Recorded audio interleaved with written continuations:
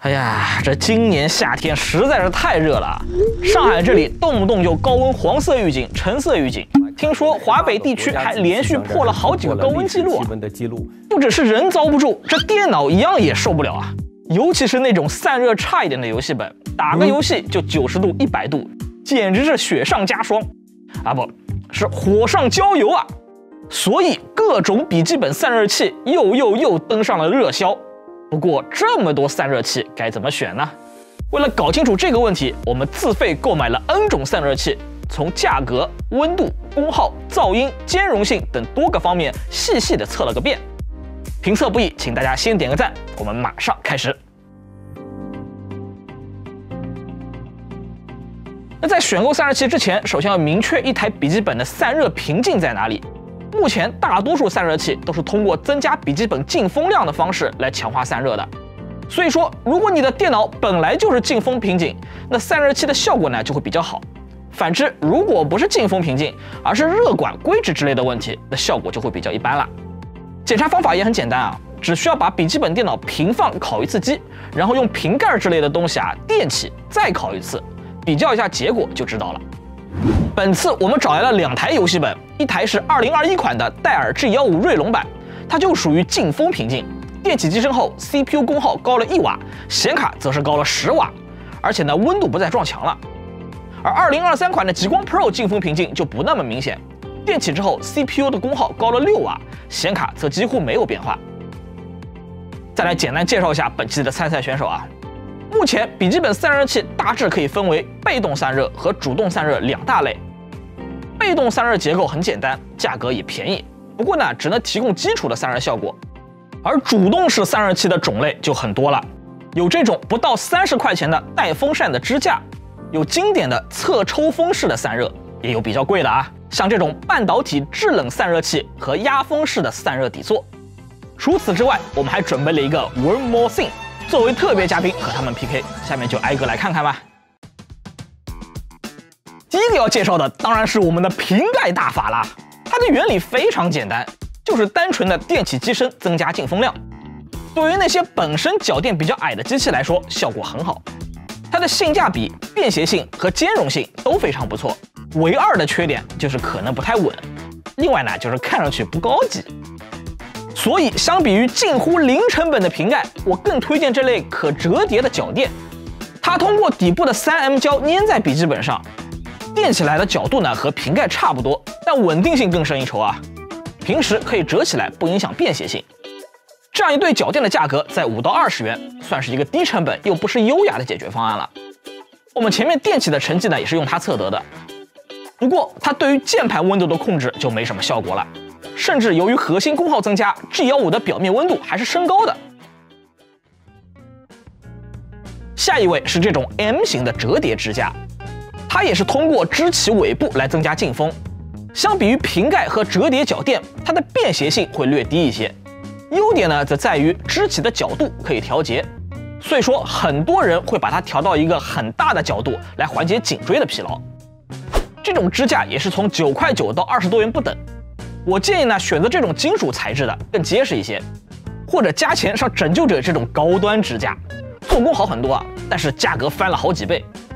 至于散热效果嘛，在 G 幺五上，支架的效果要好于脚垫，CPU 功耗多了两瓦，显卡呢低了将近四度，而在极光 Pro 上则是反过来了，不过啊，比平放还是好一些。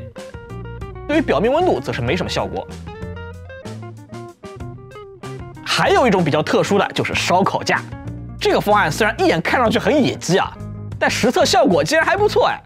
在极光 Pro 上，CPU 功耗和折叠脚垫只差了一瓦，但是啊，显卡跌了两度。在 G 幺五上则是更加明显了，无论是 CPU 功耗还是显卡温度都是领先。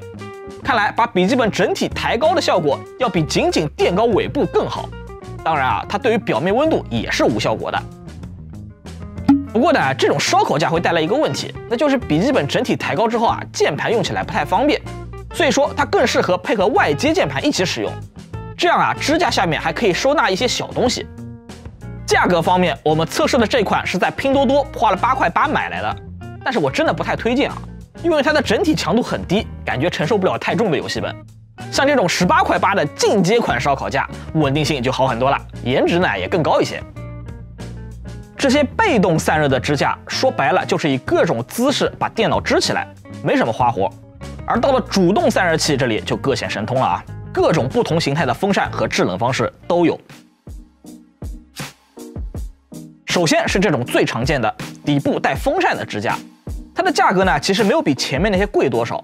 本次参测的淘宝爆款酷睿冰尊也只有二十六块九啊，基本还是在同一价位段内。它相比普通支架的改进，就是底部增加了两个风扇，可以向上吹风，进一步增加了笔电的进风量。但是实测下来，它的提升非常有限，核心散热和前面的烧烤架几乎都是同一水平的。表面温度呢倒是能低个两度左右啊，属于勉强可以感知到。原因我估计是风量太小。虽然我们买的是高转速的豪华版，但实际出风并不多，也就将将能托起一张面巾纸。噪音方面，它的本体噪音是四十五点二分贝，属于比较安静的水平。加装之后基本不会增加游戏本的噪音。总的来说，这类散热器比较鸡肋啊。首先，它的散热效果相比起被动散热支架好不了多少，而且便携性还很差。另外呢，就是它的做工啊，实在是有些过于粗糙了。前面你可以用二十块钱买到全金属的支架，而到了这里，二十块钱就只能买塑料的了，感觉耐用性是个隐患。当然啊，它也有高端型号，价格呢也要贵一些。那除了这种常规形态的风扇支架以外，还有一些形态比较特殊的散热器，比如绿巨能这款，长得像卡式炉一样的涡轮散热器，它也是通过像笔记本底部吹风的方式来增强散热。由于设计成了桶状，便携性比常规的风扇底座要高一些。在散热器底部有可以调节位置的卡槽，用来适配不同尺寸的笔电、手机、平板也可以放上去。甚至你还可以把它立起来，当成一个 USB 小风扇来使用。但是呢，这款散热器的兼容性啊，却有很大的问题啊。理论上来说，我们的笔记本应该是放在前面的卡槽上，但如果你的笔记本是后置电源接口，那插头就会和散热器出现冲突。而且它的实测散热效果实在是让人不敢恭维啊！烤机功耗和温度不仅差于前面的酷睿冰尊，甚至还不如纯被动散热的烧烤架。问题主要出在风道上，它这个散热器是上方进风，下方出风。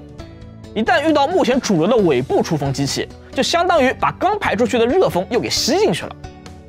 表面温度部分，极光 Pro 会稍微降一些，G15 则是几乎没区别。它的本体噪音是四十九点八分贝，会略微增加游戏本的整体噪音，但还算能接受啊。就实测的数据来看，绿巨能这种卡式炉形态的散热器表现不太好，加上一百一十块钱的售价，属于不推荐的行列。如果是搭配非尾部出风、非电源后置的机器，那它的适配度应该会更高一些。测了两款带风扇的散热器，感觉效果都不太行啊。有没有给力一点的风冷散热器呢？我们测下来还真有一种，那就是以老马为代表的压风式散热器。它的原理与常规风冷略有不同，别人只是往电脑底部吹风，而它在电脑和风扇之间加装了记忆棉，有一定的密封性，相当于直接把风怼进去。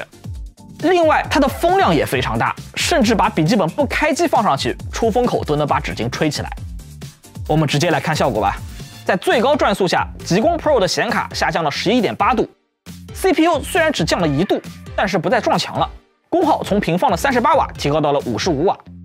G 幺五的效果更加明显，显卡暴降二十一度，功耗还多了十瓦；CPU 降了十二点五度，功耗同样提升十瓦。表面温度降幅也非常夸张啊，极光 Pro 中央区域降了差不多十度啊，G 幺五则是跟待机差不多了。不过呢，这么强的降温效果也不是没有代价的，那就是堪称恐怖的噪音啊！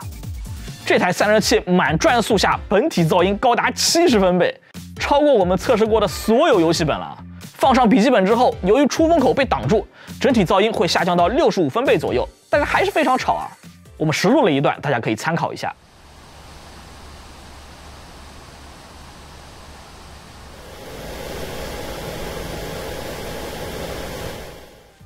此呢，我还测试了一下半转速下的效果，结果呢也不错，温度只有小幅度的提升，但是功耗不变。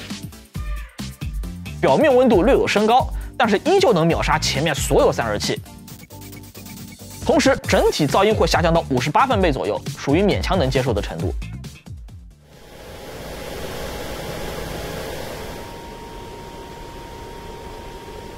如如果你需要的是一款非常强力、能直接拯救老游戏本的散热器的话，那这台应该就是我们本次测到的最强款了。但是它的缺点也同样明显啊，除了噪音以外，它的便携性很差，重达一点六千克，只适用于固定场景。外观做工呢也非常粗犷，感觉啊跟神鹿的游戏本比较搭。三百元左右的价格，在所有选手里也是偏贵的。最后还有一点我比较担心，它毕竟是往笔记本里压风啊，势必会增加自带风扇的转速。如果空载还会变成一台发电机，给主板反向供电，这样有可能会对风扇寿命造成影响。这个疑问呢，我还没有办法验证啊，希望有用过的小伙伴现身说法一下。讲完这些吹风式散热器，还有一种前些年比较流行的产品也值得试一下，那就是这种抽风式的散热器。与其他竞品不同，它使用时需要固定在笔记本的侧出风口上，通过往外抽风来增加空气流量。所以这种散热器的优劣也很明显了。遇到只有侧出风口或者侧出风占主导的笔电，它的效果就很好。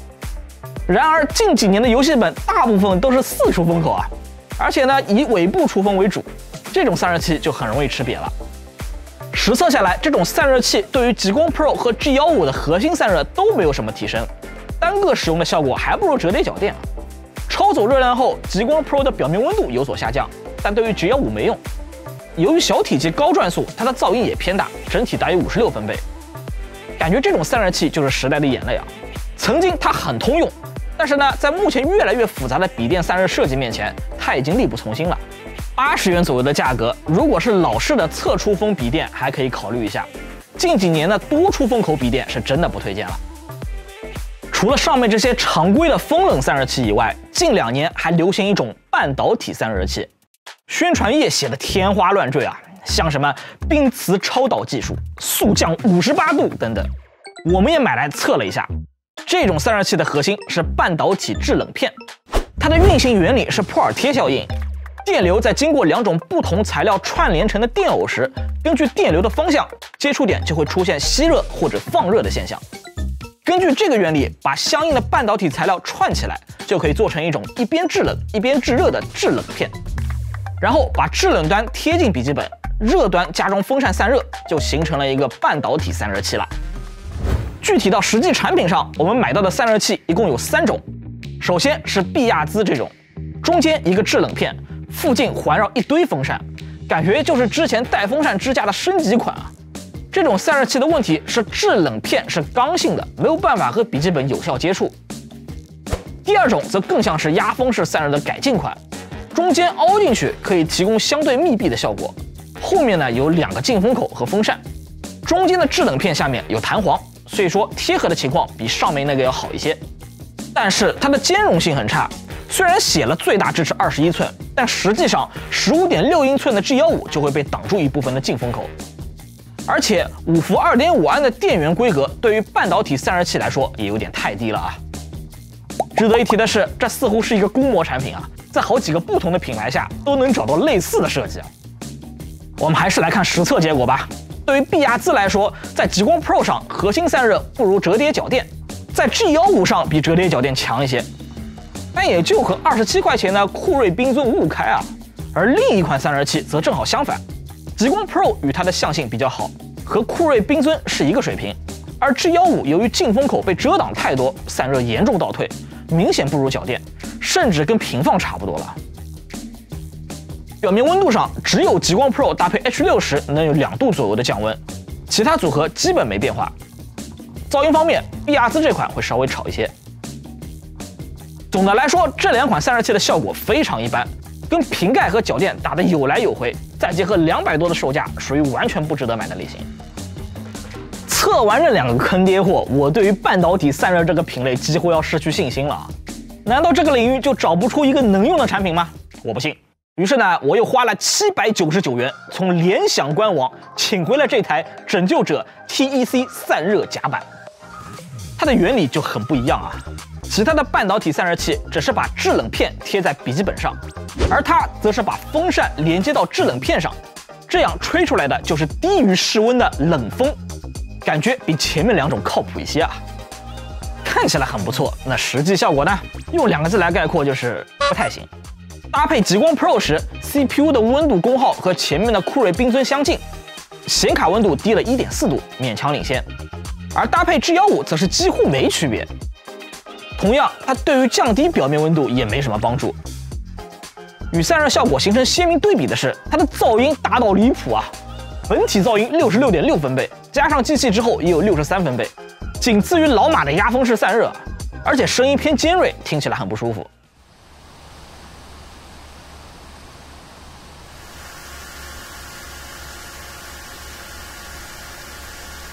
虽然它提供了四档风速可供选择。但最高档位的散热效果都不怎么样，更低档位的也没什么意义了。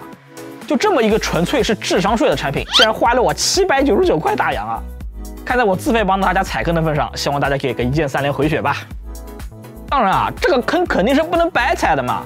既然都到我这里了，那我必须得拆开研究一下。拆下它的制冷片和导流罩，一下就能看出问题了啊！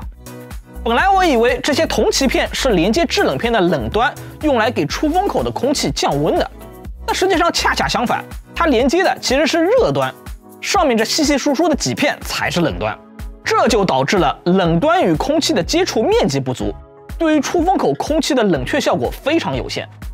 具体有多差呢？